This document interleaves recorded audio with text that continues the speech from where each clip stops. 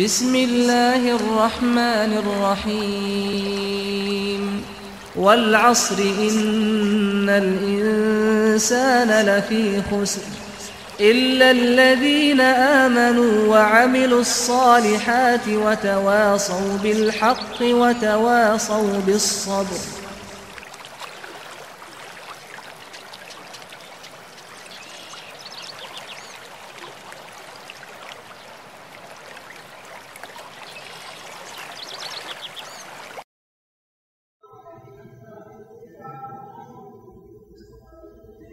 Bismillahirrahmanirrahim. Assalamualaikum warahmatullahi wabarakatuh.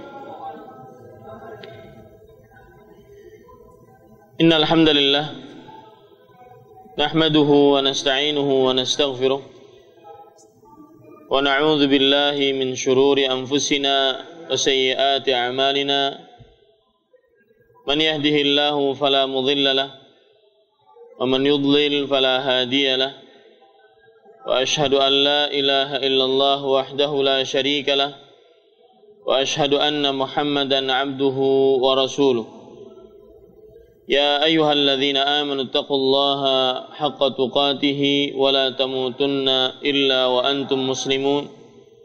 يا أيها الناس اتقوا ربكم الذي خلقكم من نفس واحدة وخلق منها زوجها وبث منهما رجالا كثيرا ونساء واتقوا الله الذي تساءلون به والأرحام إن الله كان عليكم رقيبا. يا أيها الذين آمنوا اتقوا الله وقولوا قولا سديدا يصلح لكم أعمالكم ويغفر لكم ذنوبكم ومن يطع الله ورسوله فقد فاز فوزا عظيما. أما بعد فإن أصدق الحديث كتاب الله وخير الهدي هدي محمد صلى الله عليه وعلى آله وسلم وشر الأمور محدثاتها وكل محدثة بدعة وكل بدعة ضلالة وكل ضلالة في النار. Alhamdulillah kita bersyukur pada Allah Subhanahu wa taala. Pada hari ini Jumat siang tanggal 14 Zulqa'dah 1434 Hijriah kita duduk bersama untuk mengadakan sebuah kajian penjelasan tentang khutbah Jumat sebagaimana kajian rutin kita setelah selesai melaksanakan sholat Jumat. Salawat dan salam semoga selalu Allah berikan kepada Nabi kita Muhammad sallallahu alaihi wa ala alihi wasallam pada keluarga beliau, para sahabat serta orang-orang yang mengikuti beliau sampai hari kiamat kelak. Dengan nama-nama Allah yang husna dan sifat-sifat yang mulia, saya berdoa semoga apa yang kita lakukan sekarang ini termasuk amal ibadah yang ikhlas dan diterima oleh Allah Subhanahu wa taala. Para ikhwah yang dirahmati oleh Allah Subhanahu wa taala, Bapak, Ibu, saudara-saudari yang dimuliakan oleh Allah Subhanahu wa taala, sebagaimana yang kita biasa lakukan di dalam majlis ini setelah sholat Jumat berjamaah kita mengadakan penjelasan tentang khutbah Jumat. Dan khutbah Jumat yang disampaikan oleh khatib pada kesempatan kali ini adalah berkenaan dengan salah satu kebaikan Islam atau salah satu kebaikan yang ada di dalam ajaran agama Islam bagi penganutnya. Kita sebagai seorang muslim semestinya bersyukur dan berbangga dengan ajaran tersebut. Karena Islam adalah agama yang sempurna yang mengatur bukan hanya hubungan antara seorang manusia dengan penciptanya Allah Subhanahu wa taala. Akan tetapi juga mengatur hubungan antara manusia sesama manusia manusia dengan manusia, terutama seorang muslim dengan muslim lainnya.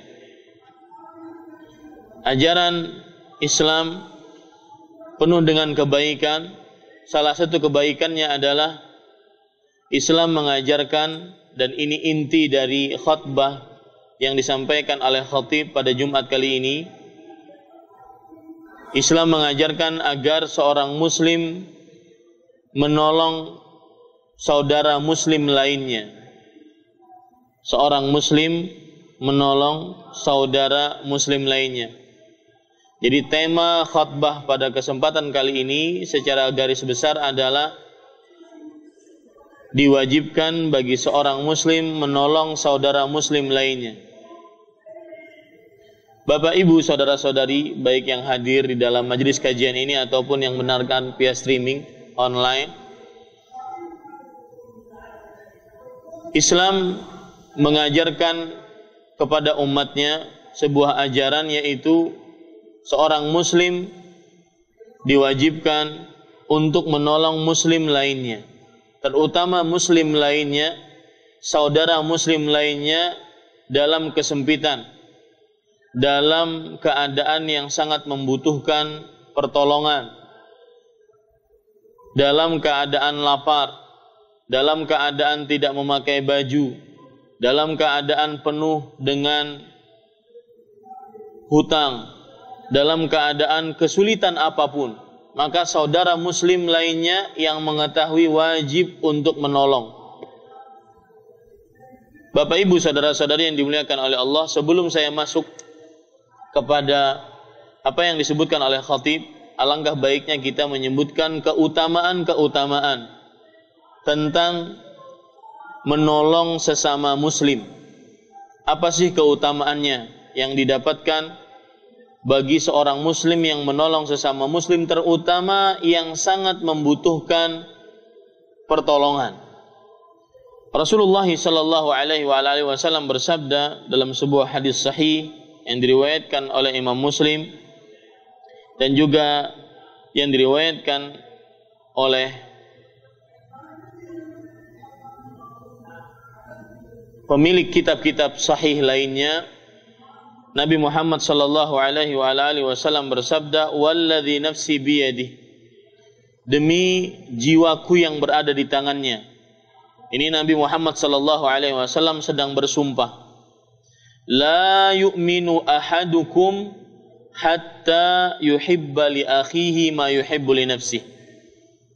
Tidak akan beriman salah seorang dari kalian sampai ia mencintai untuk saudaranya apa yang ia cintai untuk dirinya sendiri.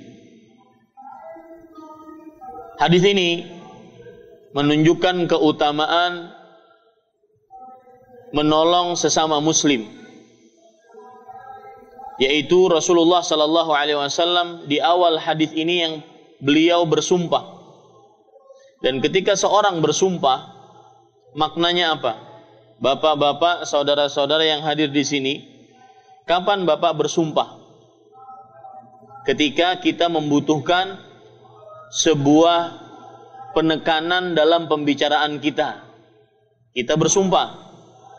Dan bersumpah menyebutkan apa? Menyebutkan sesuatu yang sangat kita agungkan. Di sini letaknya keagungan menolong sesama muslim Sebelum Rasulullah sallallahu alaihi wasallam menyebutkan keutamaan menolong sesama muslim, beliau bersumpah menunjukkan apa yang beliau bicarakan ini adalah sesuatu yang sangat ditekankan.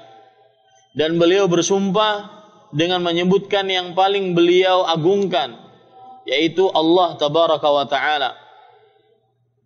Rasulullah sallallahu alaihi wasallam bersabda, "Walladzi nafsi Muhammadun biyadihi" atau walladzi nafsi biyadihi demi jiwaku yang berada di tangannya. Ini satu. Yang kedua, dalam hadis ini Rasul sallallahu alaihi wasallam meniadakan keimanan. La yu'minu ahadukum. Tidak beriman salah seorang di antara kalian. Saya sering menyebutkan peniadaan keimanan atau peniadaan sesuatu di dalam hadis-hadis Rasul Shallallahu Alaihi Wasallam terbagi menjadi empat. Peniadaan keberadaan, nafyudzat, yang kedua peniadaan kesahihan, nafyus yang ketiga peniadaan kesempurnaan, nafyul al-kamal. Nafyul kamal. Peniadaan kesempurnaan. Nah, ketika Rasulullah tadi bersabda sallallahu alaihi wasallam, la yu'minu ahadukum. Tidak beriman salah seorang di antara kalian. Ini maksudnya Rasul meniadakan keimanan. Peniadaan keimanan di sini maksudnya adalah peniadaan keimanan yang sempurna Artinya tidak sempurna keimanan seseorang. Sampai kapan? Hatta yuhibba li akhihi ma yuhibbu li nafsih. Sampai ia mencintai untuk saudaranya sebagaimana ia mencintai untuk dirinya sendiri. Di sini terlihat keutamaan menolong sesama muslim yaitu Siapa yang tidak menolong sesama muslim maka kurang sempurna imannya. Tidak sempurna imannya. Dan kalau seandainya kita memperhatikan kembali makna hadis tersebut, la yu'minu ahadukum hatta yuhibba li akhihi ma yuhibbu li maknanya adalah apa saja yang kita inginkan untuk diri kita kebaikan, maka kita harus lakukan itu kepada saudara kita sesama muslim. Jika kita ingin makan dengan makanan tertentu, maka kita juga harus memberikan kepada sesama muslim makanan tersebut kepada saudara kita muslim. Kalau diri kita ingin minum dengan minuman tertentu, ingin menginginkan diri kita, maka tidak sempurna keimanan kita sampai kita juga memberikan minuman yang kita ingini tersebut kepada saudara sesama kita muslim. Begitu pula kalau seandainya kita tidak ingin dicela oleh seseorang, maka jangan sampai kita mencela saudara kita muslim. Kalau tidak ingin kita diribah oleh seseorang, maka jangan sampai kita menggibah sesama muslim. Ini yang dimaksudkan oleh hadis Rasul sallallahu alaihi wasallam. Hatta yuhibba li akhi sampai dia mencintai untuk saudaranya ma yuhibbuhu li nafsi. Apa yang ia cintai untuk dirinya sendiri.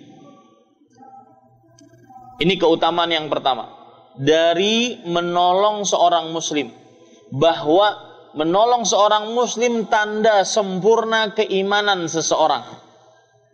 Keutamaan pertama menolong sesama muslim adalah bahwa tanda kesempurnaan sesama kesempurnaan keimanan seseorang adalah menolong sesama muslim. Keutamaan yang kedua, menolong sesama muslim bahwa Rasulullah sallallahu alaihi wasallam pernah bersabda dalam sebuah hadis sahih yang diriwayatkan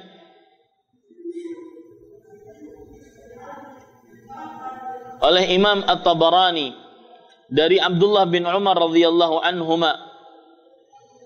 Rasulullah sallallahu alaihi wasallam bersabda ahabbun nas ila taala anfa'uhum linnas. Orang yang paling dicintai oleh Allah adalah yang paling bermanfaat untuk orang lain. Keutamaan ketiga. Eh keutamaan kedua. Dari menolong sesama muslim. Bahkan dalam hadis ini bukan sesama muslim saja, sesama manusia. Menolong sesama manusia adalah orang yang paling dicintai oleh Allah. Orang yang paling suka menolong sesama muslim, orang yang paling dicintai oleh Allah Subhanahu wa taala. Pertanyaannya, ada apa dengan cinta Allah kepada seorang hamba? Kenapa kita sangat membutuhkan Allah mencintai kita? Kalau kita ngaku cinta kepada Allah itu perihal mudah. Saya mencintai Allah anak kelas 5 SD juga bisa ngucapin itu. Saya mencintai Allah. Di baju-baju kaos ditulis I love Allah. Sangat mudah seseorang menyatakan cinta kepada Allah. Tapi yang menjadi ukuran adalah kata Imam Nukathir rahimahullahu taala, "Laisa sya'nu an tuhib, walakinna sya'na an tuhab." Bukanlah yang menjadi standarisasi adalah kamu mencintai.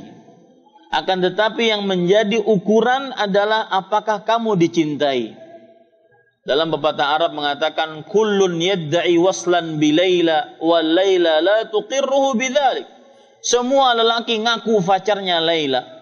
Tetapi si Laila nggak ada yang kenal dengan satu lelaki pun. Jangan dipacari, kenal aja enggak. Sama orang ketika ngaku dia cinta kepada Allah. Ternyata dia dicintai Allah tidak. Yang menjadi ukuran Allah mencintai hamba tersebut atau tidak. Nah pertanyaannya, kenapa kita butuh cinta Allah kepada kita? Karena ketika Allah mencintai seorang hamba, apa yang akan terjadi? Yang akan terjadi hamba tersebut akan selalu dituntun hidupnya. Selama dia hayat masih dikandung badan, dia akan selalu dituntun. Matanya dituntun tidak melihat kecuali yang baik-baik, yang diridhoinya. Telinganya dituntun tidak mendengar kecuali yang baik-baik yang diridhoinya. Mulutnya dituntun, tangannya dituntun, kakinya, kemaluannya, seluruh anggota tubuhnya dari ujung rambut sampai ujung kaki. Tidak ada yang keluar dari ketaatan kepada Allah Subhanahu wa taala. Dalam sebuah hadis sahih hadis qudsi riwayat Bukhari Rasulullah sallallahu alaihi wa alihi wasallam bersabda fa Allah berfirman fa ahbabtuhu kuntu sam'ahu alladhi yasma'u bihi wa yubsiru wa basarahu alladhi yubsiru bihi wa yadahu allati yamshi yabtishu 'alaiha wa rijlahu allati yamshi biha. Artinya kalau seandainya aku mencintai hamba tersebut, aku menjadi pendengarannya yang dengannya dia mendengar, penglihatannya yang dengannya dia melihat, tangannya yang dengannya dia memegang, kakinya yang dengannya dia berjalan. Artinya hamba tersebut akan diberikan petunjuk oleh Allah Subhanahu wa taala. Nah, itu kita dapatkan dari apa? Menolong sesama muslim. Karena Rasul Shallallahu Alaihi Wasallam bersabda, "Ahabbun nasi ilallah anfa'uhum linnas." Orang yang paling dicintai oleh Allah adalah orang yang paling bermanfaat untuk manusia. Keutamaan yang kedua. Keutamaan yang ketiga, para ikhwan yang dirahmati oleh Allah Subhanahu wa taala, menolong sesama muslim adalah amalan yang paling dicintai oleh Allah Subhanahu wa taala. Lanjutan hadis tadi, riwayat Bukhari dari, dari riwayat Imam At-Tabarani dari Abdullah bin Umar radhiyallahu anhu, wa ahabbul a'mal ilallah idkhalus surur ala muslim. Dan amalan yang paling dicintai oleh Allah adalah memasukkan kebahagiaan, kegembiraan dalam diri seorang muslim. Menolongnya itu memasukkan ke dalam kebahagiaan ke dalam diri seorang muslim, membayarkan hutangnya, memasukkan kebahagiaan ke dalam dirinya, menghilangkan laparnya, memakaikan baju kepada orang yang ketika tidak memakai bajunya, maka itu membahagiakan kepada diri seorang muslim. Maka keutamaan yang ketiga dari menolong sesama muslim, menolong sesama muslim adalah amalan yang paling dicintai oleh Allah Subhanahu wa taala. Kemudian yang keempat, keutamaan menolong sesama muslim. Perhatikan, yang ingin lepas dari kesulitan hidup di dunia dan kesulitan keadaan di akhirat tolong sesama muslim. Yang ingin lepas dari kesulitan hidup di dunia dan kesulitan hidup di akhirat, maka tolong sesama muslim. Itu keutamaan yang keempat. Dalam sebuah hadis Rasulullah sallallahu alaihi wasallam bersabda, man nafas eh, saya saya ulangi dari Abdullah bin Umar radhiyallahu anhu riwayat Bukhari dan Muslim Rasul sallallahu alaihi wasallam bersabda al muslimu akhul muslimi. Seorang muslim saudara muslim lainnya la yadhlimuhu wa la yuslimuhu. Dia tidak pernah menzaliminya. Seorang muslim tidak pernah menzalimi muslim lainnya. Dan tidak pernah menyerahkannya kepada keburukan Artinya menyerahkan muslim lain kepada musuh-musuh muslim Islam. Kemudian kata Rasul sallallahu alaihi wasallam, "Man kana fi hajati akhi, kana Allahu fi hajati." Barang siapa yang menolong keperluan saudara muslimnya, maka Allah akan menolong keperluannya. Wa man farraja an muslimin qurbatan min farrajallahu anhu biha qurbatan min qurabi yaumil qiyamah. Barang siapa Lihat, ini ada permasalahan pelik sedikit nanti di sini. Barang siapa yang melepaskan kesulitan dari seorang muslim, maka niscaya Allah akan lepaskan dia kesulitan dari kesulitan hari kiamat. Kemudian Rasul sallallahu alaihi wasallam bersabda, "Wa man satara musliman satarahu Allah fid dunya wal akhirah." Siapa yang menutup aib seorang muslim, Allah akan tutup aibnya ketika hari kiamat. Hadis riwayat Bukhari dan Muslim. Permasalahan pelik yang saya ingin katakan tadi adalah bahwa tadi Rasul Shallallahu Alaihi Wasallam bersabda barang siapa yang melepaskan, melapangkan kesulitan yang dimiliki oleh seorang Muslim, maka Allah akan lapangkan kesulitan dia di hari kiamat. Tetapi ada hadis yang lain yang berbunyi Wa man yassara ala mu'sirin yassarahu Allahu fid dunya wal akhirah. Barang siapa yang memudahkan orang yang membayar hutang, entah itu hutangnya dibebaskannya atau dia tidak memerlukan atau dia menangguhkan pembayaran hutangnya tanpa kena caras dan macam-macam, maka Allah akan mudahkan dia untuk kehidupan dunia dan akhirat. Coba, apa bedanya kalau yang tadi Allah Subhanahu wa taala hanya memudahkan kesulitan di akhirat? Sedangkan bagi siapa yang melapangkan atau memudahkan orang yang sulit bayar hutang, Allah akan mudahkan dia urusan dia di dunia dan di akhirat. Maka jawabannya adalah bahwa orang terkadang sulit dua-duanya di dunia dan di akhirat, terutama dalam masalah hutang.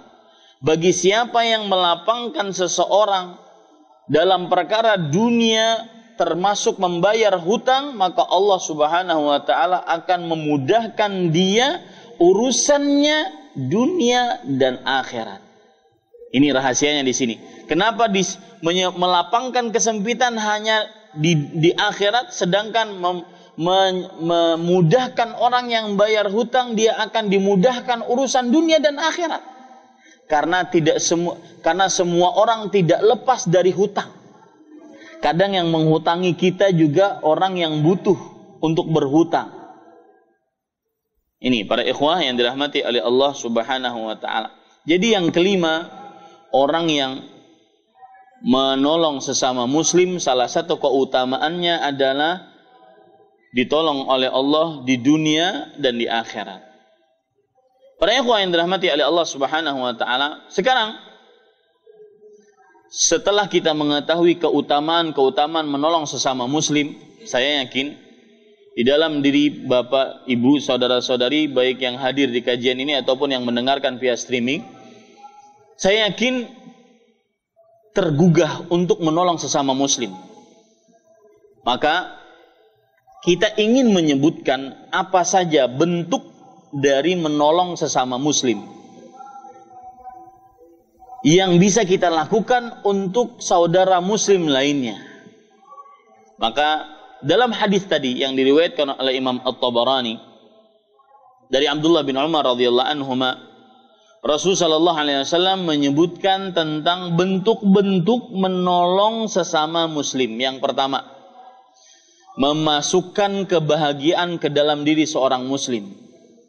Kawan kita yang lagi bersedih karena satu permasalahan dan lain hal, entah itu keluarga, entah itu permasalahan ekonomi, entah itu permasalahan di kantor, atau apa saja. Buat dia tertawa, buat dia gembira, buat dia senang, maka ini termasuk dari sikap menjadikan seorang muslim menolong muslim lainnya. Jadi poin yang pertama, bagaimana cara menolong sesama muslim memasukkan kegembiraan ke dalam hati dia, ke dalam diri dia, sehingga yang bersedih menjadi riang, yang uh, tidak senyum menjadi tersenyum. Yang menangis menjadi berhenti menangisnya. Jangan terbalik. Menjadi kawan yang bisa hanya mengernyitkan dahi kawannya. Kan ada orang pak kalau lagi berteman. Kalau si Fulan datang yang ada cerita cuma cerita sedih. Aduh kerja nggak habis-habis.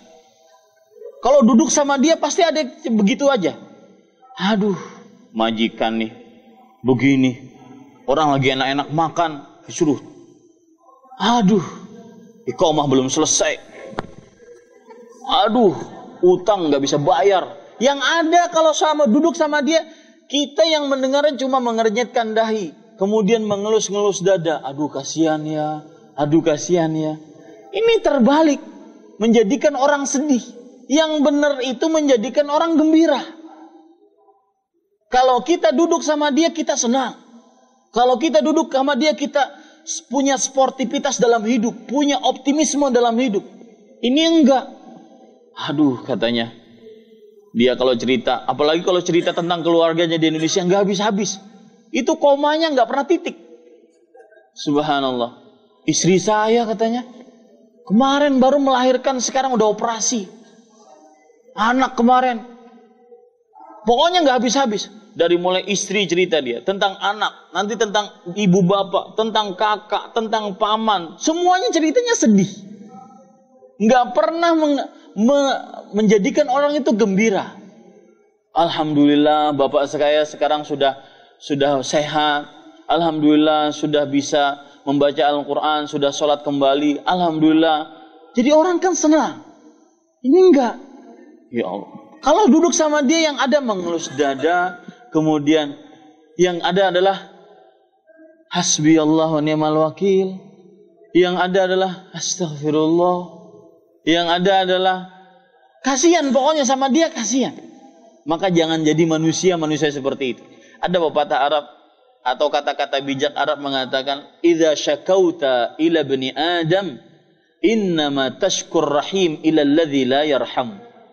Sesungguhnya jika kamu ngadu masalahmu kepada anak manusia, itu sebenarnya kamu ngadukan Allah yang maha pengasih kepada anak manusia yang tidak pernah mengasihi. Sukanya ngeluh kepada manusia. Coba kelihat Nabi Zakaria alaihi salam. Apa yang didapati oleh Nabi Zakaria? Punya apa? Eh, Nabi Ayub, Nabi Zakaria yang dapat penyakit Nabi apa? Ayub. Nabi Ayub. Apa yang beliau katakan? Apakah ngadu kepada teman-temannya? Ngadu kepada anak istrinya? Hmm. Beliau mengatakan apa? Anni masaniyaddur wa anta arhamur rahimin. Ya Allah, aku kena penyakit nih. Ngadunya kepada Allah. Dan engkau yang maha pengasih. Engkau yang maha pengasih dari seluruh yang mengasihi. Ngadunya kepada Allah. Jadi mulai saat ini stop mengeluh, apalagi ngeluh di Facebook. Ya, subhanallah. Semua kegiatan dia ceritakan di Facebook. Siapa, lagian siapa yang mau baca? EGP emang gue pikirin. Ente nulis halaman dua halaman nggak saya pikirin. Kayak orang terkenal aja yang nulis semua kegiatan dia di besok saya mau pulang ke Indonesia. Bodoh amat, masalah buat lo. Enggak, saya pikirin. Ya subhanallah ya para ikhwas sekalian. Para ikhwan yang dirahmati oleh Allah Subhanahu wa taala, jadi orang kebalikan dari itu, membuat orang senang. Tidak cerita sedikit-sedikit, aduh, kerja nggak bisa habis. Aduh, semuanya aduh. Ya, akhir-akhirnya hedeh nanti. Alhamdulillah para ikhwaskan. Ini yang pertama, sikap bagaimana menolong sesama muslim, membuat dia gembira. Oh berarti Ustaz, para pelawak itu ya, bagus itu. Banyak amal ibadahnya. Maka jawabannya bercanda boleh. Rasul Shallallahu alaihi wasallam mengatakan, "Inilah amzah wala aqulu illa haqqan." Sesungguhnya aku bercanda, tapi aku tidak mengatakan kecuali yang benar. Jangan sampai kita bohong ketika ngelawak. Dan itu sulit. Ya. Bohong semua. Kadang-kadang mengatakan perkataan-perkataan kotor, perkataan-perkataan keji, menghina orang dalam rangka melawak ini enggak benar. Baik. Sifat yang kedua kata Rasul sallallahu alaihi wasallam, "Au yakshifu anhu kurbah." Sifat atau aktivitas kedua dalam menolong seorang muslim menghilangkan keburuk eh, kesulitan dari dirinya. Dari diri muslim lainnya, dari diri saudara muslim lainnya. Kesulitan apa pun. Misalkan, saya beri contoh. Pak Azhari ingin ngelamar kerja di sebuah perusahaan. Saya tahu bos perusahaan itu teman dekat saya. Saya tahu bagaimana kualitas Pak Azhari dalam bekerja. Boleh saya datang kepada beliau, si bos tersebut, bos. Tuh ada yang ngelamar Anda namanya Pak Azhari. Di Damam disebut Pak Lurah, bos. Beliau itu jos pokoknya kalau kerja. Amanah, jujur, suka sholat, suka masjid. Dijadikan apa dalam perusahaan, bagus. Ini boleh. Sangat boleh. Ketika beliau sangat membutuhkan pekerjaan, di bawah beliau ada anak, ada istri, anaknya lima atau sepuluh, belum bekerja semua, maka itu boleh. Dan tidak perlu kita beritahu-beritahu. Azhar di sini deh, saya kemarin ke bos itu. Nggak perlu kita beritahu seperti itu. Ya, ini pada ikhwan yang dirahmati Allah, hilangkan kesulitan yang dia miliki atau dan ini banyak, terutama di Arab Saudi saya tahu sangat banyak orang seperti ini. Si fulan punya hutang. Gara-gara hutangnya dia masuk penjara. Baik peraturan di Indonesia ataupun di Arab Saudi juga sama. Orang yang banyak hutang kalau diadukan dia akan dimasukkan ke dalam penjara kemudian diproses.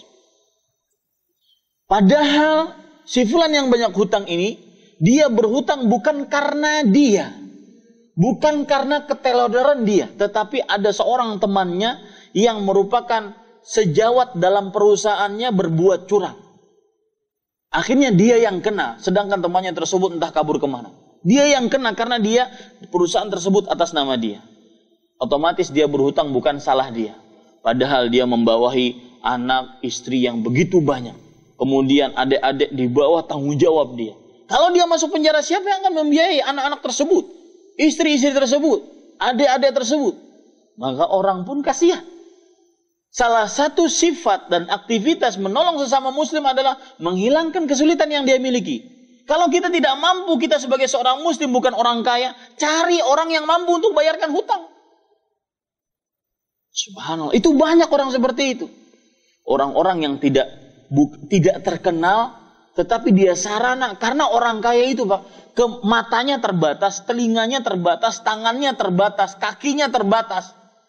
Jangan kadang kita menyalahkan orang kaya, oh kaya-kaya tapi nggak pernah nolong. Karena dia nggak diberitahu. Coba diberitahu. Dia akan langsung menolong. Dan terus-terusan menolong. Dan secepat mungkin bisa menolong. Karena dia manusia biasa. Makanya saya katakan, termasuk hikmah Allah, Allah tidak menjadikan seluruh manusia kaya.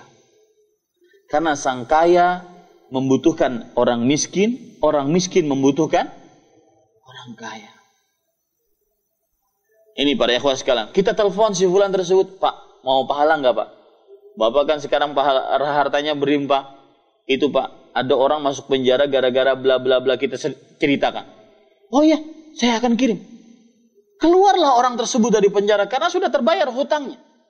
Akhirnya dia bisa bekerja, memenuhi kewajibannya, menafkahi anak istrinya. Subhanallah. Dengan sebab orang ini. Itu yang dinamakan dalun alal khair. Orang yang menunjukkan kepada kebaikan. Dan Nabi Muhammad sallallahu alaihi wasallam bersabda, "Man dalla ala khairin falahu mithlu ajri fa'ili." Enggak punya harta, tapi seperti orang yang bersedekah pahalanya.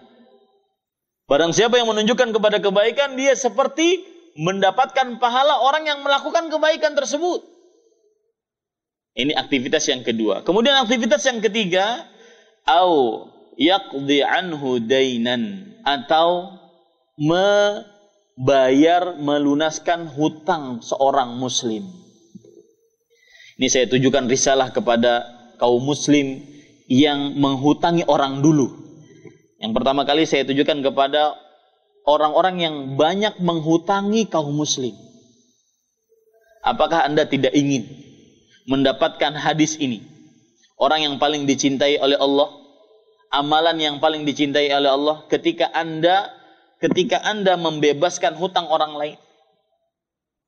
Dijamin oleh Rasulullah dicintai oleh Allah Subhanahu wa taala dan bukan hanya dicintai, paling dicintai oleh Allah. Bahkan dalam riwayat Muslim, Orang yang membebaskan hutang orang lain dimaafkan oleh Allah, dimasukkan ke dalam surga. Rasul sallallahu alaihi wasallam bersabda, "Kana rajulun min bani Israel yudayinun nas." Ada orang dari Bani Israel suka memberikan hutang kepada manusia. Kemudian qala li dia berkata kepada anak buahnya, "Jika datang si fulan wahwa mu'sir dan dia susah untuk bayar hutang, maka maafkan dia. La'allallahu an yusamihana. Semoga Allah memaafkan kita. Akhirnya apa kata Rasul sallallahu alaihi wasallam? Orang itu dimaafkan oleh Allah dan dengannya dia masuk ke dalam surga. Saya pernah bertemu di sebuah daerah di Nusa Tenggara Barat. Orang ini datang ke rumah Kemudian beliau cerita, Ustaz, boleh nggak kita nagih piutang yang kita berikan kepada orang lain? Saya bilang, oh iya, sangat boleh sekali. Jangankan menagih, bahkan sedikit memaksa dalam menagih boleh. Rasul Shallallahu Alaihi Wasallam dipaksa oleh sebagian sahabat yang yang menghutangi beliau. Asalkan jangan pakai main pukul, apalagi sampai menghilangkan nyawa, tidak boleh. Para debt kolektor, debt kolektor, nggak boleh menghilangkan nyawa. Memaksa menagih kalau seandainya dia sebenarnya punya hutang dan punya biaya untuk membayar tapi tidak mau membayar, maka boleh. Tetapi saya bilang, menunggu lebih utama. Sampai dia mampu. Karena Allah Subhanahu wa taala berfirman, wa in kana dhu usratin fanadhiratun ila maisarah. Jika seseorang susah, maka tunggu sampai dia mudah untuk bayar hutang. Ini lebih utama dibandingkan kita menagih. Lebih utama lagi saya bilang kepada orang tersebut adalah membebaskan. Sebenarnya saya mampu saja untuk membebaskan Ustaz. Tapi masalahnya piutangnya besar. Saya bilang Pak, Sekali lagi saya tekankan, menunggu lebih utama Pak. Apalagi sampai membebaskan, lebih utama. Benar Ustaz, saya akan bebaskan. Cuma saya masih mikir-mikir. Kalau Ustaz di, di posisi saya gimana ya Ustaz? Kenapa? Karena yang saya piutangi itu, orang yang saya hutangi itu berhutangnya 2 miliar Ustaz. Antum kalau jadi beliau gimana? Dua miliar, bukan ratusan juta. Bukan kalau beliau sampai bilang begini, kalau seandainya 100 200 juta saya masih bisa memaafkan Ustaz. Karena beliau orang kaya. Lalu hutangnya berapa, Mbak? Pak? Hutangnya hampir 2 M, Ustaz. Wah. Kalau saya jadi bapak, saya masih nunggu juga, Pak. Berat. Akhirnya tidak berapa lama saya pulang ke Kalimantan. pulang dari rumah mertua, saya balik ke Kalimantan. Beliau cerita, Alhamdulillah saya sudah istikharah Ustaz. Saya sudah bebaskan orang tersebut. Subhanallah. Luar biasa. Masih ada orang-orang seperti itu di zaman sekarang. Yang menjual dunianya untuk mendapatkan akhiratnya. Yang dia tahu betul itu tabungan sebenarnya di akhirat. Ini para ikhwan yang dirahmati oleh Allah Subhanahu wa taala. Coba bebaskan orang atau paling minimal tunggu dia sampai mudah untuk bayar hutang. Kemudian yang ketiga atau yang keempat ya, aktivitas yang keempat dalam membantu sesama muslim adalah tatruda anhu ju'an. Menghilangkan rasa lapar dari seorang muslim. Tidak pantas, Pak. Kita makan enak, samping kanan kiri kita belum makan. Kita makan nyaman, tetangga-tetangga kita belum makan tatruda'an hujuan. Dan di dalam hadis ini saya sering mengatakan, salah satu fikih dalam menolong sesama muslim adalah semakin orang yang kita tolong sangat membutuhkan pertolongan, semakin besar pahalanya. Beda Pak, saya ngajak makan Pak Budi, Pak Budi punya gaji, Pak Budi punya tabungan, saya ngajak makan dapat pahala saya. Dengan orang yang di jalan belum makan tiga hari tiga malam. Atau orang yang kalau mau makan harus ngais-ngais bekat makanan orang lain. Beda pahalanya antara dua hal itu. Semuanya sama aktivitasnya memberi makan menghilangkan rasa lapar tetapi semakin dibutuhkan maka semakin besar pahalanya maka Berfikirlah dalam bersedekah, dalam menolong orang lain. Semakin dekat keluarga yang kita tolong itu adalah keluarga kita, semakin besar pahalanya. Ini juga fikih bersedekah dalam uh, ini juga fikih dalam bersedekah dan menolong orang lain. Nah ini para ikhwan yang dirahmati oleh Allah Subhanahu wa taala. Kemudian lanjutan dari hadis tadi dan ini salah satu keistimewaan menolong sesama muslim. Kata Rasul sallallahu alaihi wasallam, wala an a'takifa ma'a akhin fi hajatin ahabbu ilayya min an a'takifa fi hadzal masjid syahran. Barang siapa eh sungguh aku berjalan bersama saudaraku muslim dalam sebuah keperluan yang dia miliki lebih aku cintai dibandingkan aku beriktikaf di masjid ini. Masjid ini yang dimaksudkan oleh Rasulullah di mana? Masjid Nabawi selama sebulan. Masjid Nabawi sekali takbir Allahu Akbar kita sholat itu diganjar seribu sholat. Orang iktikaf otomatis banyak mengerjakan sholat dan ibadah-ibadah. Itu kalah dengan nemenin teman beli sesuatu. Kalah etikaf di Masjid Nabawi sebulan dengan menemani teman kita dalam sebuah keperluan. Ini para ikhwan yang dirahmati oleh Allah Subhanahu wa taala. Ini salah satu aktivitas menolong sesama muslim. Kemudian ada beberapa riwayat yang sangat menarik yang disebutkan oleh penulis eh, oleh apa? khatib tadi yaitu Rasulullah sallallahu alaihi wasallam bersabda dalam sebuah hadis inna min ahabbil a'mali ilallah idkhalus sururi ala qalbil mu'min sesungguhnya amalan yang paling dicintai oleh Allah adalah memasukkan kebahagiaan dalam hati seorang muslim atau mukmin wa an yufarrija anhu ghamman. Dan menghilangkan rasa resah di dalam dirinya. Au yaqdiya anhu dainan. Atau melunasi hutangnya. Au yut'imuhu min atau yut'imuhu min atau memberi makan dia dalam keadaan lapar. Hadis ini dilemahkan oleh sebagian ulama akan tetapi maknanya sahih sebagaimana hadis-hadis yang sudah saya sebutkan tadi. Ada lagi perkataan yang menarik yang disebutkan oleh khatib tadi yaitu su'ilal imamu malikun. Al-imam Malik rahimahullah ditanya, "Ayyul a'mali tuhib?" Amalan mana yang paling engkau cintai? Faqal idkhalus surur alal muslimin wa ana nadartu nafsi an ufarrija kurbatil muslimin. Wahai Imam, amalan apa yang paling kau cintai? Imam Malik itu beliau mempunyai majelis ilmu membacakan hadis-hadis Rasul Shallallahu Alaihi Wasallam dari kitab beliau Al Muwatta yang hadir ribuan orang. Dan itu amalan yang sangat bermanfaat. Tetapi ketika ditanya amalan apa yang beliau, beliau paling beliau cintai, kata beliau memasukkan kebahagiaan ke dalam hati seorang muslim. Kemudian beliau mengatakan, dan aku bernazar. Apa arti nazar, Pak? Pernah orang ada orang bernazar di antara bapak-bapak sekalian? Nazar itu artinya adalah mewajibkan sesuatu kepada diri sendiri yang bukan wajib. Kalau anak saya lulus sekolah, saya bernazar ingin bersedekah. Enggak enggak lulus, enggak pernah sedekah.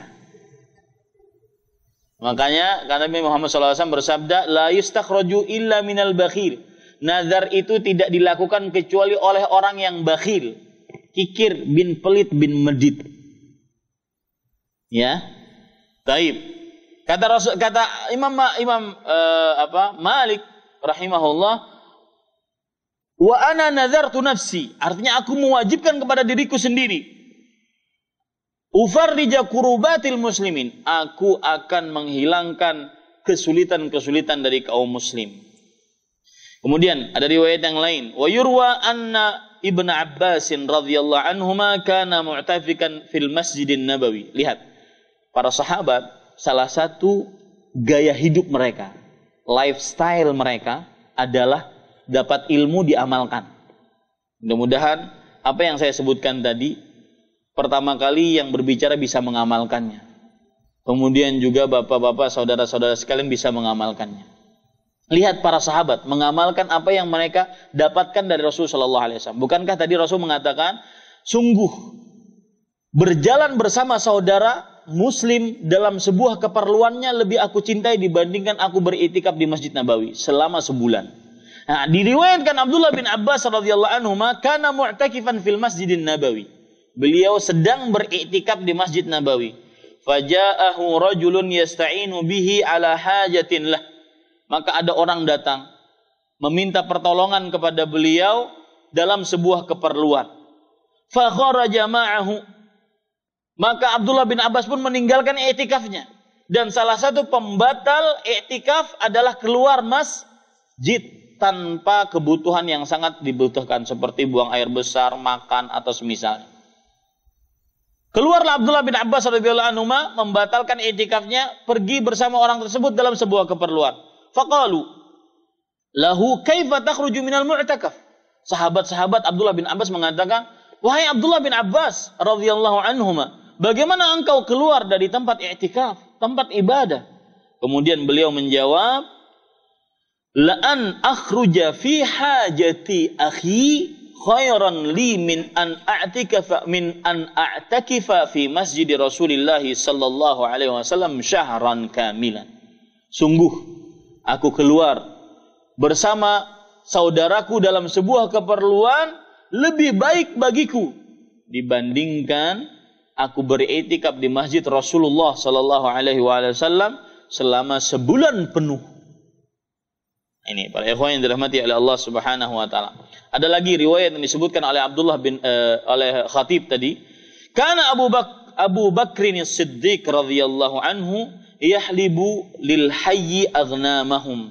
Falamma istukhlifa qalat jariyatun minhum al ana la yahlibuna la yahlibuha.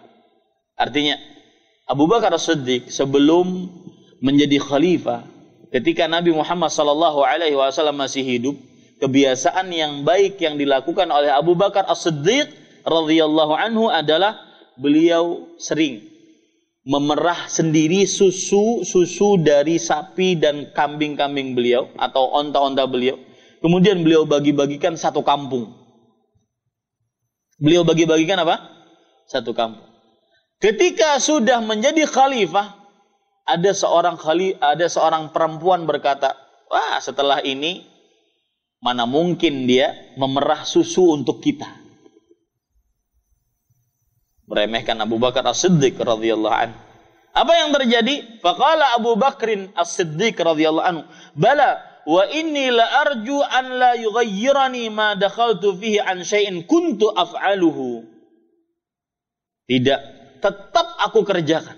Dan aku berharap kepada Allah, Allah tidak merubahku terhadap perbuatanku yang telah aku kerjakan terlebih dahulu. Artinya, meskipun aku menjadi khalifah, aku akan tetap memerah susu-susu tersebut dan kubagi-bagikan penduduk untuk penduduk sekampung. Seorang khalifah. Kalau di di kita presiden. Ya. Ini para ikhwan yang dirahmati oleh Allah Subhanahu. Ini pelajaran menarik bagi kita. Mudah-mudahan terutama pelajaran menarik bagi yang menyampaikan yaitu gaya hidup para sahabat adalah ketika sudah memulai kebaikan baik tidak pernah terputus sampai akhir hayat. Gaya hidup para sahabat ketika memulai sesuatu yang baik tidak pernah itu terputus sampai akhir hayat. Dan itu saya rasakan Pak ketika masih kuliah di Madinah. Saya perhatikan setiap bulan Ramadan, dahulu-dahulu kan kita belum mendapati Ramadan libur, masa libur. Dahulu Ramadan musim dingin. Jadi kita selalu di kota Madinah. Kalau zaman sekarang kan Ramadan para mahasiswa musim panas, jadi mereka libur ke Indonesia kita mendapati orang-orang yang membukakan puasa di dalam bulan Ramadan di tempat yang sama itu-itu aja orangnya. Dari mulai rambutnya hitam, masih muda maksudnya, sampai dia ubanan, sampai jenggotnya putih semua, tempatnya di situ-situ saja dia membukakan puasa orang. Padahal suprohnya cuma dari satu meter sampai dua meter saja. Maka usahakan gaya hidup ini kita ikuti. Apa pun kebaikan terutama dalam menolong orang lain, meskipun itu sedikit, maka jangan kalau kita sudah mulai jangan sampai terputus sampai akhir hayat di kandung badan kita. Di mana pun kita berada, Jangankan ibadah menolong orang lain, ibadah personal kita sendiri saja yang kita dapatkan pahalanya itu sendiri. Saya pernah dapat ya orang teman bapak eh, bapak teman saya. Beliau kalau puasa, puasa itu kan orang biasanya buka di rumah gitu ya. Kalau bulan bukan bulan Ramadan, buka di rumah. Tapi kebiasaan beliau karena kebiasaan di sab pertama selalu setiap hari, setiap sholat, maka bukanya cuma sedikit karena mengejar sab pertama di masjid. Nah, maka pada ikhwan yang dirahmati dan inilah yang dilakukan oleh Rasulullah Shallallahu Alaihi Wasallam. Karena Rasul karena amalu Rasulullah Shallallahu Alaihi Wasallam dima. Kebiasaan perbuatan Rasulullah Shallallahu Alaihi Wasallam amalannya itu selalu dikerjakan, tidak pernah terputus. Ini Bapak Ibu saudara-saudari yang dimuliakan oleh Allah Subhanahu wa taala. Kemudian Cerita menarik yang selanjutnya dari Abdullah dari Umar bin Khattab radhiyallahu anhu, Khalifatul Muslimin atsaniyah. Khalifah kaum muslim yang kedua. Karena Umar ibn al-Khattab radhiyallahu anhuma eh, radhiyallahu anhu yata'ahadu ba'dul aramili fayasqi lahunnal ma'a bil lail. Artinya Umar bin Khattab senantiasa kalau ada fi'il kana dalam bahasa Arab fi'lun madin naqis kemudian setelahnya ada fi'il mudhari' yadullu 'alal kathrah wal istimrar itu menunjukkan kepada banyak dan terus menerus nah di sini diceritakan kana Umar ibn al-Khattab radhiyallahu anhu yata'ahadu Umar bin Khattab radhiyallahu anhu sering selalu membantu para janda-janda. Apa kalau pulang Pak, perhatikan janda Pak. Wah pikirannya ke mana-mana. Dasar. Ya. Fayasqilahunnal ma'a billail. Setiap malam selalu menuangkan air. Dahulu kita tahu bahwasanya air adalah sesuatu yang sangat dibutuhkan karena tidak susah untuk mendapatkan air. Wa ra'ahu Talhah billail yadkhulu baitam ra'atin. Suatu malam Talhah melihat Umar bin Khattab masuk ke dalam rumah seorang perempuan janda. Fadakhala ilaiha Talhatu naharan. Kemudian pada waktu siang rumah tersebut diingat oleh si Talha, oleh Talhah radhiyallahu anhu. Kemudian beliau mengingat rumah tersebut. Di siang harinya Talha bertamu kepada rumah tersebut. Fa'idha ajuzan amya muqa'adah. Ternyata di dalam rumah tersebut hanya ada seorang perempuan tua, buta. Ini janda yang dimaksud. Itu yang harus diperhatikan. Tua, buta, dan cacat tidak bisa berdiri. Kemudian fasa'alah. Tolhah bertanya kepada wanita tua tersebut. Ma yasna'u hadzal rajul 'indak? Wahai Nek, tadi malam laki-laki yang datang itu ngapain ke sini? Kemudian qalat hadza lahu mundu kadza wa kadza yata'ahadani ya'tini ma yuslihuni wa yakhruj wa yukhriju anni al-adha.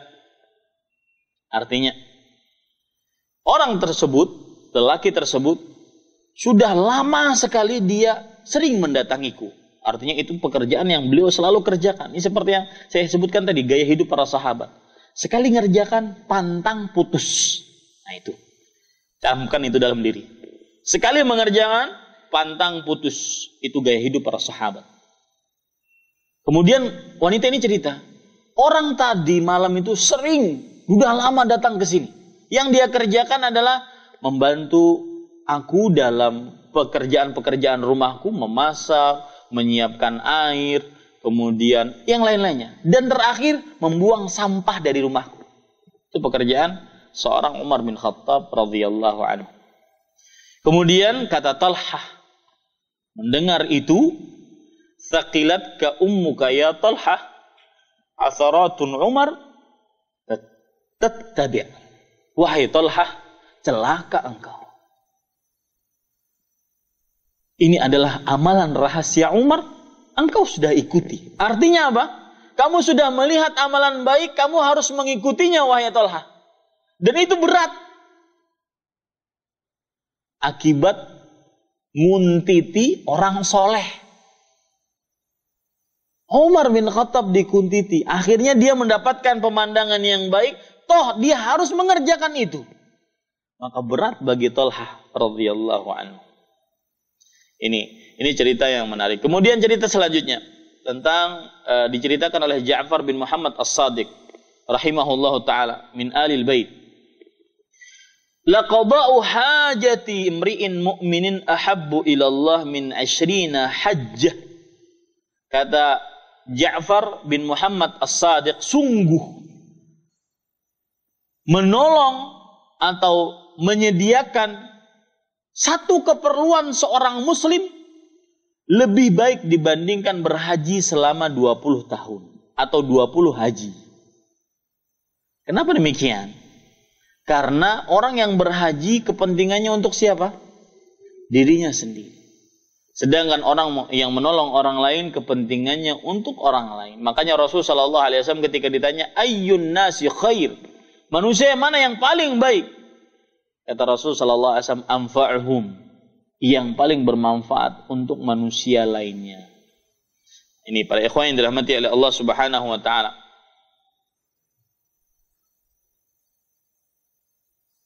Ada cerita menarik lagi yang perlu kita contoh ini. dan mungkin pelajaran bagi para orang-orang yang belajar kepada seorang pengajar. Kepada seorang pengajar, entah itu ustadz, guru, guru agama, entah itu kiai, entah itu habib. Pelajarannya adalah diceritakan Mujahid. Ibn Mujahid seorang ulama di generasi tabi'i. Tabi'i itu siapa? Seorang yang melihat sahabat. Mujahid bercerita. Sahibtu ibna Umar radhiyallahu anhuma fi safari li akhdimahu. Aku menemani Abdullah bin Umar dalam bepergian untuk me menjadi pembantunya, untuk mengabdi kepadanya, artinya untuk menolongnya dalam bepergian. Dan Abdullah bin Umar seorang sahabat. Salah satu murid dari Abdullah bin Umar adalah Mujahid. Nah, ini pelajaran yang saya ingin sampaikan tadi. Hendaknya seorang murid itu memperhatikan kebutuhan gurunya. Apa sih yang dibutuhkan guru saya? Seperti Mujahid mengatakan, aku sengaja ikut kepada Abdullah bin Umar dalam bepergian untuk apa? Untuk membantunya, untuk mengabdi kepadanya, untuk menjadi pembantunya dalam safar. Ya, jadi ini murid yang tahu diri. Bukan hanya sekedar ngambil mu, mu, apa, ilmu dari dari si guru tapi tahu keperluan. Padahal mungkin mujahid tidak ingin bepergian. Mungkin mujahid rahimahullah punya keperluan lain. Punya keluarga, punya anak istri. Tapi beliau sengaja menemani gurunya untuk ngapain?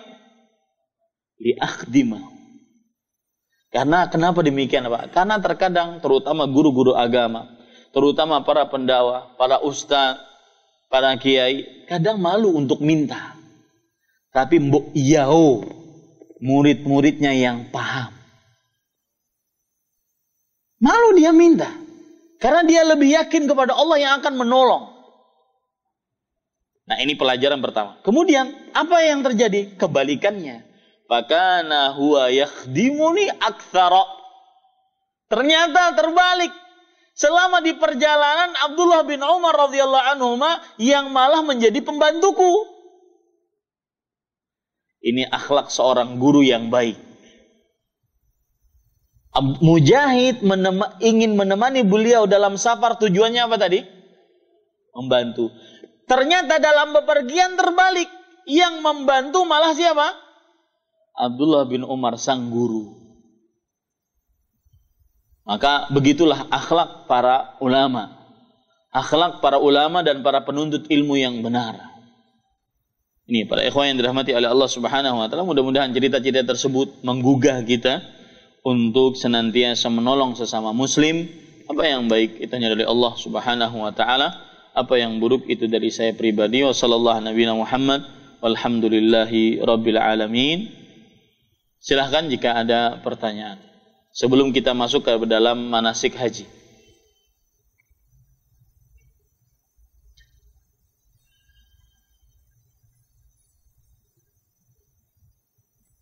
Nah. Assalamualaikum warahmatullahi wabarakatuh. Waalaikumsalam. Uh, ini di luar konteks ya. Saya mau tanya masalah akikoh. Bolehkah akikoh itu digabungkan dengan korban Idul Adha tapi dengan niat akikoh? Nah, yang kedua Ustadz, bolehkah korban itu kambing itu dua orang itu boleh apa enggak? Nah, itu aja. Ya, bagus pertanyaan. Pertanyaan yang pertama yaitu tentang akikah atau bahasa Arabnya al-aqiqatu. Apakah boleh digabung dengan berkurban? Maka saya lebih condong kepada pendapat yang mengatakan bahwa dia adalah ibadah tersendiri. Baik akikah ataupun kurban. Karena penyebabnya berbeda. Penyebabnya berbeda. Jadi kadang dua ibadah dilakukan dengan satu perbuatan itu diperbolehkan. Seperti seorang mandi hari Jumat sekalian dia dalam niatnya mandi Jumat plus mandi junub.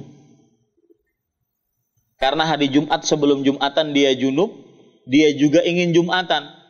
Maka dia hanya cukup satu kali mandi saja. Bukan dua kali mandi. Satu kali untuk junub, satu kali untuk mandi Jumat. Enggak. Satu kali mandi, dia niatkan untuk mengangkat hadas besar yaitu junub dan itu juga adalah mandi sebelum Jumat. Itu kadang amal ibadah seperti itu boleh. Seperti juga orang masuk ketika setelah azan subuh dia masuk masjid, apa yang dia lakukan? Di hadapan dia ada berbagai macam sholat. Ada sholat qobliyah subuh, ada sholat tahiyatul masjid, ada sholat uh, ba, uh, ba'diyah wudhu, setelah wudhu. Maka jawabannya, yang dia kerjakan adalah dia mengerjakan sholat qobliyah subuh dengan niatan qobliyah subuh dan itu sudah mencukupi untuk sholat tahiyatul masjid dan juga setelah wu, wudhu. Jadi ada ibadah-ibadah yang dikerjakan satu perbuatan tapi niatnya bercabang itu boleh. Bisa dipahami? Nah, itu yang beliau inginkan. Kita menyembelih satu kambing tapi niatannya sekalian akikah, sekalian berkurban. Maka jawabannya Allahu alam saya lebih condong kepada pendapat yang menyatakan dia ibadah tersendiri dengan zatnya. Artinya akikah dikarenakan kelahiran anak dan kurban dikarenakan dikarenakan apa? Dikarenakan hari raya kurban. Maka lebih baik dia beli dua kambing kalau seandainya untuk perempuan, satu untuk akikah dan satu untuk ber berkurban. Itu lebih baik. Wallahu alam. Tapi pertanyaan timbul yang lain lagi. Dan ini hari-hari ini sering saya ditanyakan melalui radio. Yaitu, kalau pas bertepatan hari ketujuh dari hari kelahiran bayi adalah hari hari raya Idul Adha. Yang mana kita juga dianjurkan dengan sangat bagi yang mampu untuk berkurban. Mana yang didahulukan Ustaz? Kurbankah, akikahkah? Maka setiap yang seperti ini saya selalu menjawab, kalau uangnya banyak, maka dua-duanya beli. Untuk akikah juga untuk berkurban. Tapi pertanyaan mengerucut. Uangnya cuma pas-pasan untuk satu kambing. Mana yang didahulukan? Maka wallahu a'lam yang didahulukan adalah mana? Akikah apa kurban? Perhatikan, kurban akan datang setiap tahun dan masih lama satu tahun yang akan datang. Akikah bisa kita kerjakan dalam setahun kapan saja. Sedangkan kurban menunggu, harus menunggu satu tahun yang akan datang. Berarti mana yang didahulukan? Hah? Kalau dari perhitungan seperti ini adalah kur, kurban. Wallahu a'lam. Sedangkan akikah nanti bisa entah 14 hari setelah hari kelahiran atau kapan saja kita mampu. Wallahu a'lam. Taib. Bagus pertanyaan. Kemudian eh, yang kedua apa tadi? Ya. Untuk kurban, bolehkah seorang berkurban dengan dua kambing? Yang Oh, satu kambing dengan dua orang. Ya, bagus pertanyaannya. Perhatikan. Rasulullah Shallallahu alaihi wasallam mensyariatkan dan ini wahyu dari Allah Subhanahu wa taala bahwa untuk sapi itu atas tujuh orang dan untuk kambing atas satu orang. Apa maksudnya ini? Sapi atas tujuh orang dan kambing atas satu orang. Sebelum saya lanjutkan, saya insya Allah e, beberapa waktu yang akan datang, entah itu siang atau entah itu sore, saya akan berbicara tentang hukum-hukum atau kajian Islam intensif tentang hukum berkurban. Ya, biar lebih matang bapak-bapak keilmuannya tentang berkurban. Maksud Nabi Muhammad SAW, satu kambing atas satu orang, satu sapi atas tujuh orang adalah yang menduiti dan membeli kambing tersebut dan sapi tersebut. Ya, kita bertujuh ngumpulin duit beli satu sapi. Itu maksudnya. Sedangkan kambing atas satu orang, saya membeli dengan uang saya satu kambing. Tidak boleh berkumpul berdua atau bertiga duitnya, tidak boleh. Dan ini yang keliru kadang-kadang terjadi pada sebagian ke eh, kebiasaan di masyarakat. Ingin menanamkan dan ingin menggebiarkan ke peringatan kurban atau hari raya kurban tapi dengan cara yang keliru, salah. Ingin menanamkan bagaimana bisa berkurban di tengah-tengah para murid, akhirnya ayo kita satu sekolahan kita berkurban. Siapa yang mau nyumbang? Per, per anak seribu rupiah atau sepuluh ribu rupiah. Akhirnya jadi satu sapi. Ini nggak benar. Karena nanti berarti satu sapi 300, atas 350 orang. Ini nggak benar. Artinya yang menduiti itu harus tujuh orang. Lebih nggak boleh. Paham ya para ikhwas sekalian? Satu sapi yang menduiti adalah satu orang. Nah itu dia. Jadi tidak boleh. ya Satu sapi yang menduiti dua orang atau lebih tidak boleh. Sedangkan nanti kalau saya membeli, saya punya duit, saya membeli kambing dari duit saya, kemudian saya niatkan itu untuk keluarga saya yang masih hidup ataupun yang sudah meninggal, maka itu boleh. Sebagaimana yang dilakukan oleh Rasulullah wasallam. Kata beliau, "Hadza anni wa an man lam yudhi min ummati." Ini sam, eh, ketika beliau menyembelih sam, kambing beliau yang gemuk, yang punya tanduk, yang eh, laki jantan, eh, jantan ya, bukan lelaki, le, jantan, kemudian warnanya hitam putih, lebih condong kepada banyak hitamnya daripada putihnya. Artinya kambing yang sangat luar biasa bagus gitu. Beliau mengatakan, Bismillah, ini at, ini sembelihan kurbanku atas diriku dan keluargaku dan umatku yang belum menyembelih. Artinya, satu kambing bisa untuk satu keluarga. Niatannya. Tapi duitnya satu orang. Nah gitu. Bukan berarti satu kambing ini atas bapak saya, satu kambing atas ibu saya, enggak usah, enggak perlu. Ya, satu kambing kita beli atas bapak ibu saya, atas orang-orang, atas saya dan seluruh keluarga saya. Itu itu yang nyunahnya. Ya, tapi orang kalau seandainya ingin be, membelikan atas nama ibunya, ya tidak mengapa. Tetapi yang lebih nyunnah adalah dia membeli kambing, dia niatkan untuk dia dan seluruh keluarga dia, baik yang masih hidup ataupun yang sudah berkeluarga. Jadi kesimpulannya, dari sisi penduitan untuk kambing duit dari satu orang, untuk sapi duit dari tujuh orang. Tapi dari sisi niat dan pahalanya bisa satu kambing untuk satu keluarga.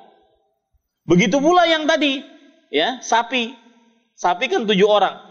Satu orang ini meniatkan untuk keluarganya boleh. Satu orang ini untuk meniatkan keluarganya yang lain boleh.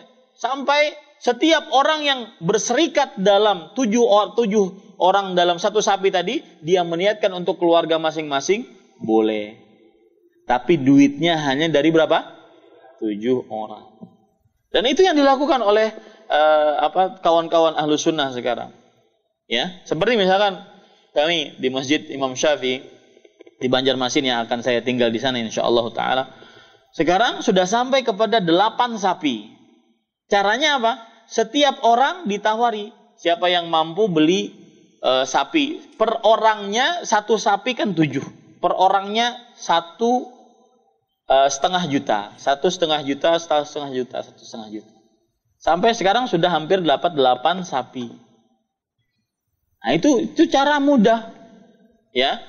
Di dalam jangan satu sekolahan, nanti satu sapi 300 atas 350 orang. Ini nggak benar. Hah? Nanya yang benar, Pak. Pakai mic.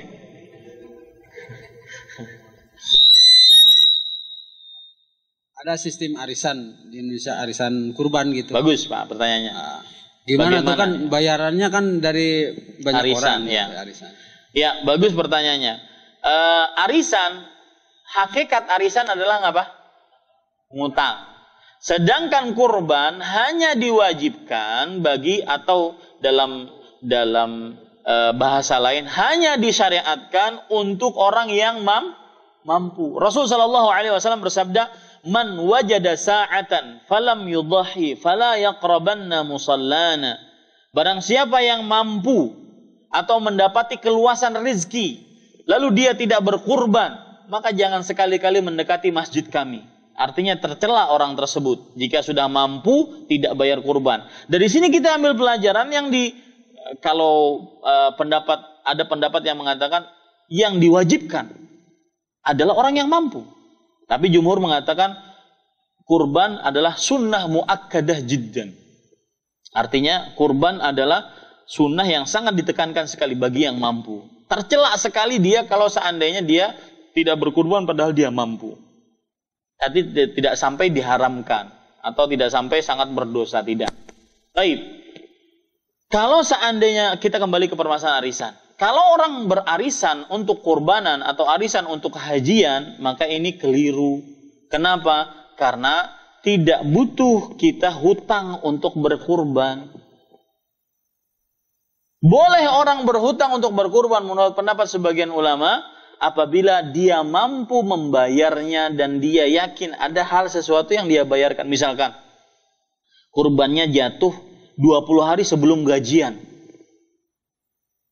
Ya.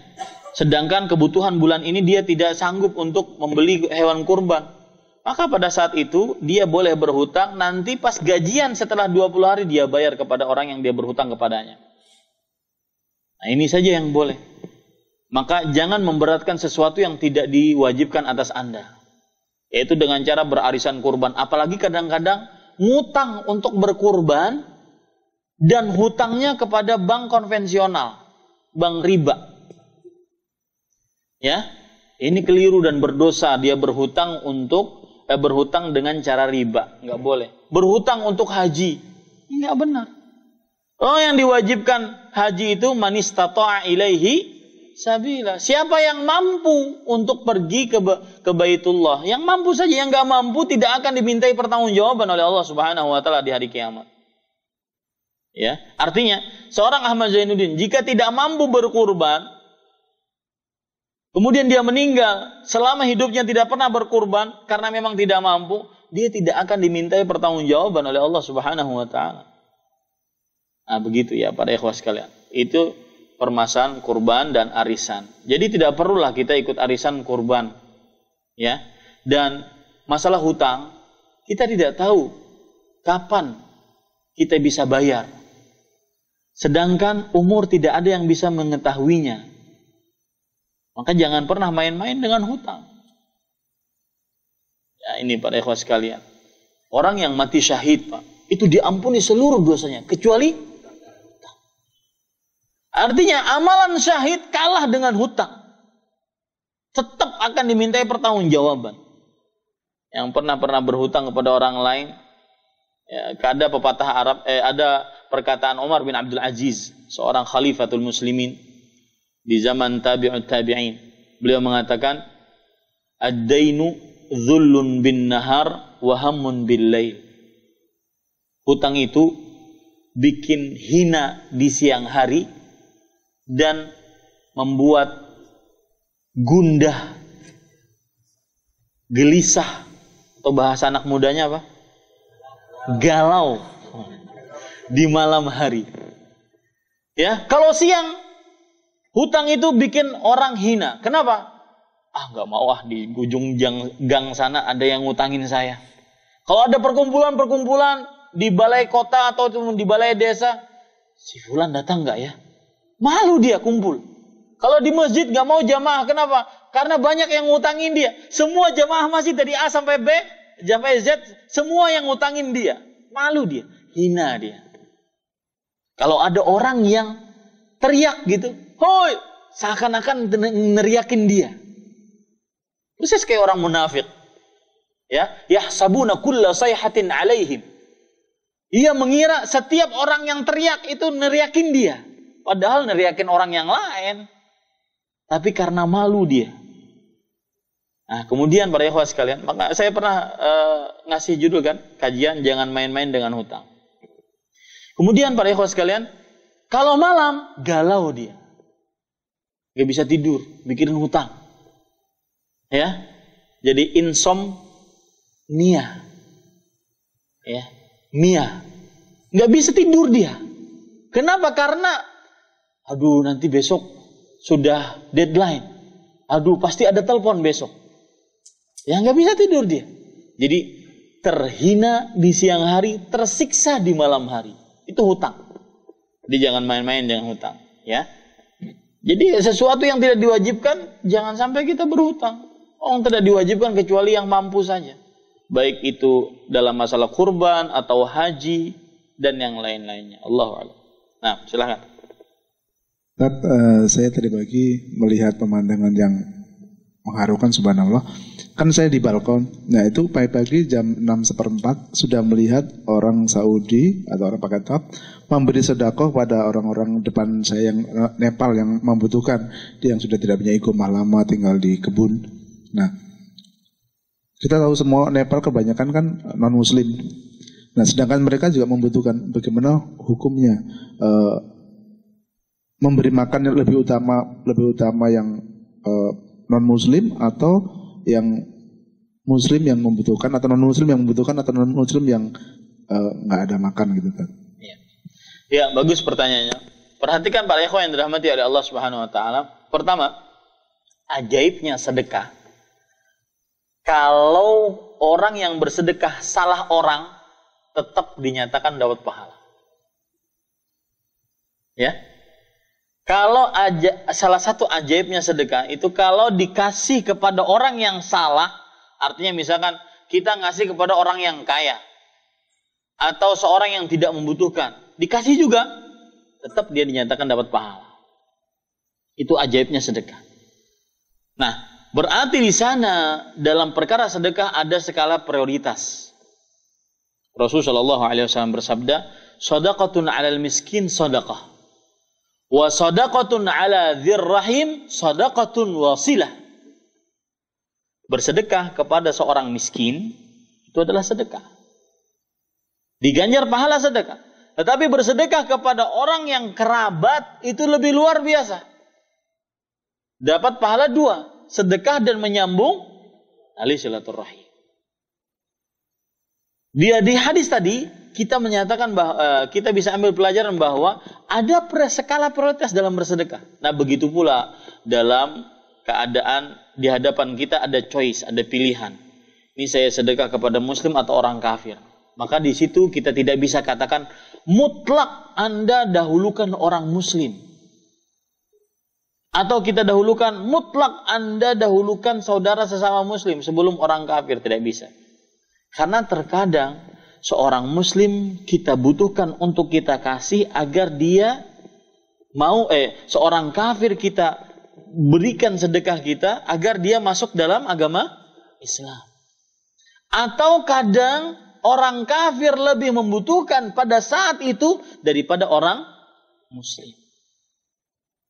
Sedangkan Rasulullah Sallallahu Alaihi Wasallam tadi bersabda, "Ahabbul a'mali ilallah anfa'uhum linnas. Yang paling dicintai oleh Allah dari amalan-amalan adalah yang paling bermanfaat bagi manusia. Bagi manusia, bukan hanya sama muslim. Jadi boleh saja kita memberikan sedekah kepada seorang kafir kalau dia membutuhkan. Tetapi tentunya di sana ada skala prioritas. Apabila seorang muslim lebih membutuhkan, maka itu yang lebih didahulukan. Menanggapi yang dikerjakan oleh seorang yang bersedekah di waktu pagi hari tadi dalam sesuai dalam cerita di pertanyaan tadi, mungkin dia melihat orang mus orang-orang ini sangat membutuhkan bantuan dibandingkan orang-orang muslim lainnya. Menurut pandangan dia tidak ada yang waktu itu lebih membutuhkan. Ya, dan setiap orang memandang beda-beda.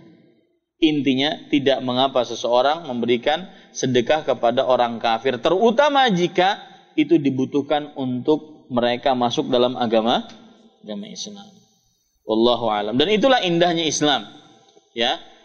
Dan salah berat apabila ketika seseorang me, me, memikirkan kalau syariat Islam dijalankan maka orang-orang kafir akan tertindas. Itu secara ilmiah dan secara fakta atau bahasa ininya de facto tidak terbukti. Secara sejarah tidak terbukti. Secara ilmiah tidak terbukti, secara de facto tidak terbukti. Orang Islam jika berkuasa tidak ada sedikit pun dari agama lain yang tertindas. Bedanya orang selain Islam jika berkuasa maka banyak kaum muslim yang tertindas. Wallahu alam. Tapi para ikhwan yang dirahmati oleh Allah Subhanahu wa taala itu kiranya yang bisa saya sampaikan. Kita masuk kepada manasik haji. Kita lanjutkan kajian manasik haji di pertemuan kedua ini. Wallahu alam sallallahu nabi Muhammad. Wassalamualaikum warahmatullahi wabarakatuh.